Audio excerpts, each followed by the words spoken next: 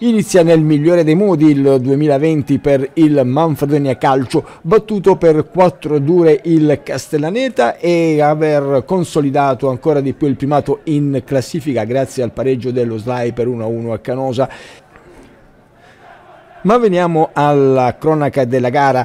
Iniziativa subito del Manfredonia al quarto minuto con Perez che entra in aria e il suo tiro viene ribattuto dal portiere ospite. Ottavo minuto Trotta metti al centro un'ottima palla per Grumo anticipato dall'uscita di Lovecchio.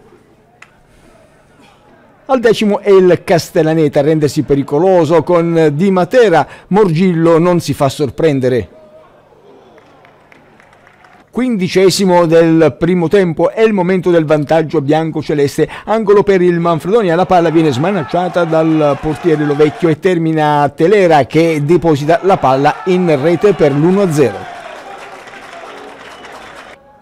29 raddoppio bianco-celeste con il capitano Trotta che si porta quasi all'esterno dell'area piccola e chiude la palla sul secondo palo per il 2-0.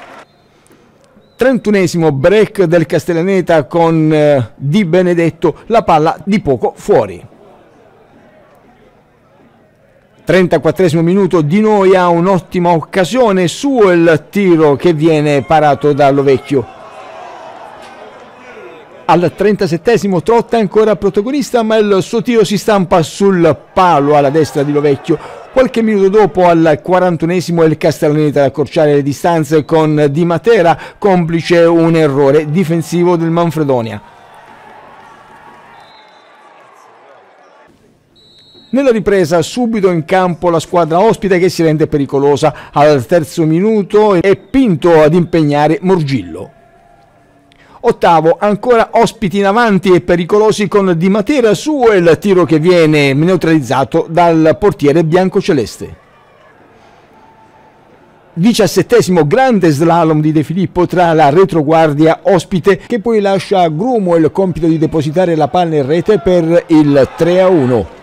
27 mani in aria di Fago per il Castellaneta, calcio di rigore decretato dall'arbitro il signor De Dio di Foggia. E ammonito il difensore ospite. Sulla palla Trotta che realizza il 4-1 per il Manfredonia.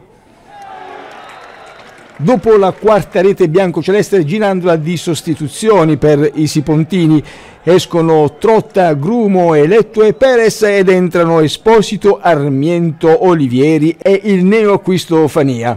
Non succede più nulla tranne al 48 dove il Castellaneta realizza 4 a 2 con un tiro da fuori area di Di Matera complice una deviazione di un difensore sipontino che mette fuori causa il portiere Morgillo.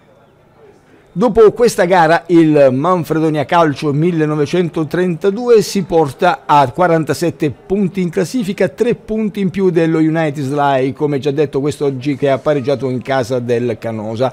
Un Manfredonia che domenica prossima sarà ospite del Bitritto, attualmente terza forza del campionato.